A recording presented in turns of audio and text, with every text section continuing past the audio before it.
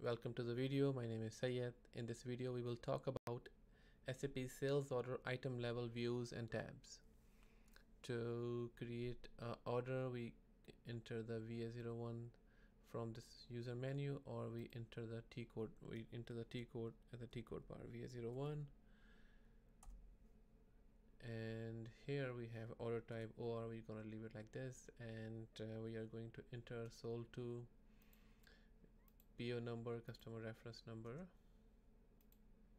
material number and the quantity. And after that uh, all the rest of the fields will populate and uh, we can go from there with the item level tab. So let's enter one more line item with different quantity to make it multiple line item views.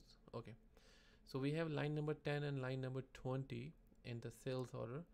And uh, uh, we can see that all line items start from all line item and below. So let's get into it. We can I can double click on this and it will take me to the line item. And uh, or I can click on go to item and then select from item to uh, item level views and also I can click on header and header level tabs. So header and item. So let's start with the sales A. Okay then system we can see that select one or more item to go to the line level. So uh, from here if we want to go to the line level we have to select the line item and then we can go to there. Uh, that's a good negative test so here we can see that at the sales A tab at the line we can on the top we can see create standard order item data.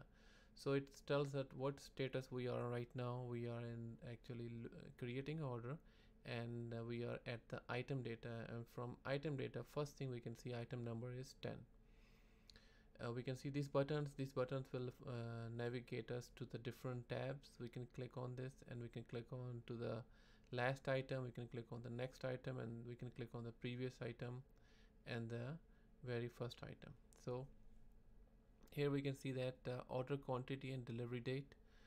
This is uh, basically all the fields are relevant to that. General sales data. So uh, quantity for line number 10 is 2 uh, first delivery date is populated based on our today's date. Uh, and uh, delivery time and contract number. If we have contract that we are creating sales order from contract it will populate. And also it showing us the unit of measure each and is, is translating into their uh, requirement segment is there. So general sales data is, is there. We have net value is showing that for this line item net value is 190 US dollars. Exchange rate is uh, is one. So pricing date we can see that pricing date is coming in there. Material entered uh, all the general sales data relevant fields are coming in there. So bill of material uh, explosion number cancellation date usage. So all of these fields are uh, maybe not all the fields are used for every company and every process. So that is uh, maybe relevant to that. And uh, right now we are just looking at the standard uh, SAP where we can see all of these uh, information. So and also just to be reminded this is uh, SAP S4 HANA sales order. So it might be different little bit different from ECC but not much. So if I click on next item to see so we can see the line number 20 is coming in there and our quantity is 5 now. For line number 20 and material number is coming in there as well. So if I use different material number it will show. Otherwise it's showing the same number. I have used the same material number. Uh, net value is different based on the pricing calculation and uh, all the rest of the things looking the same. So uh, that's it for this video. Uh, we will look at the other tabs in different videos. Please uh, subscribe leave a comment. Uh, thank you very much for the watching this video. Thank you